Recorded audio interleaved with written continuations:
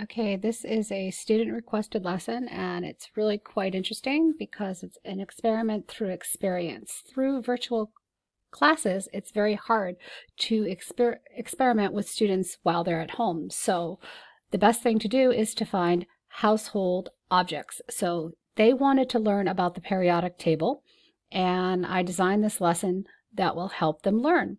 So they're just going to have to collect items found around the house. Salt, baking soda, uh, white vinegar, a clear container. Food coloring is optional.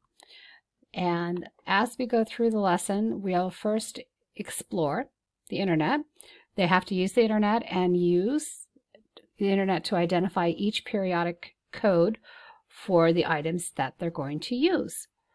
The next one, we will infer what will happen when they mix the chemicals together. And they have to use the board to take the notes. Then they will experiment. So let's experiment and write down the observations on the board. Finally, oh, and you can give them like clues. I actually think it'd be better to put a clue here. Okay, let me get back in there. Like, how does it smell? Does it? Or just say use your senses.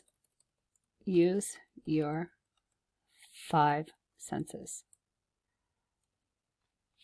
And then the following one would be to conclude. We want them to draw a conclusion uh, on the board, what happened when they mixed everything together, um, and what did you learn? Instead of saying how did it look, how did it smell, we can just put here, what did you learn?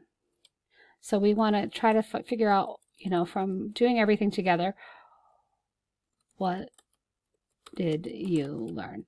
So these, this is a really good lesson because the fact that it can be done at home. Uh, it's also a student requested lesson and so they're definitely got the interest and putting it in the digital classroom makes it so much more fun for them. And yes, um, I actually had them help look up the GIFs. So the salt, the baking soda box, and the vinegar jumping were their idea. So I hope you enjoy this and have fun and enjoy experimenting.